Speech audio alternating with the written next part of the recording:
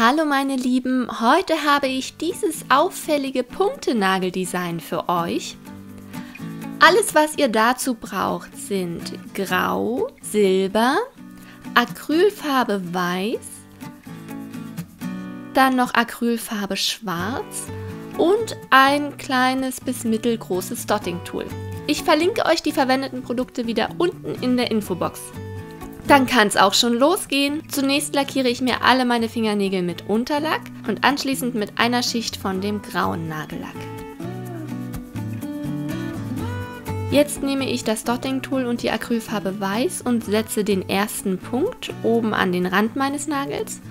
Dann nehme ich Silber und setze um den weißen Punkt herum eine Punktereihe oder einen Punktebogen und darum dann das gleiche mit Schwarz.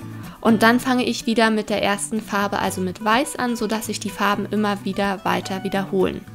Und der Grund, warum ich Acrylfarbe verwende, ist einfach der, dass die Farbe nicht so schnell eintrocknet. Das heißt, dass ich damit viel besser arbeiten kann und das Ganze keine Fäden zieht.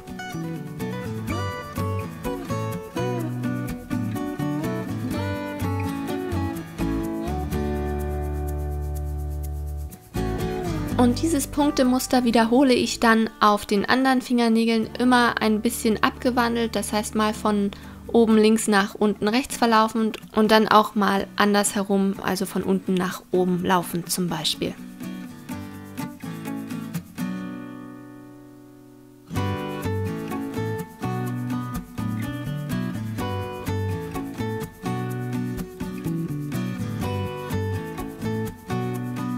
Zum Abschluss kommt noch Überlack über alle meine Fingernägel, damit das Nageldesign schön glänzt und länger hält. Und so sieht das fertige Nageldesign dann aus. Total schön und mal etwas ganz anderes, wie ich finde. Wenn euch das Video gefallen hat, dann gebt ihm gern ein Däumchen nach oben und abonniert meinen Kanal, damit ihr keins meiner weiteren Videos verpasst.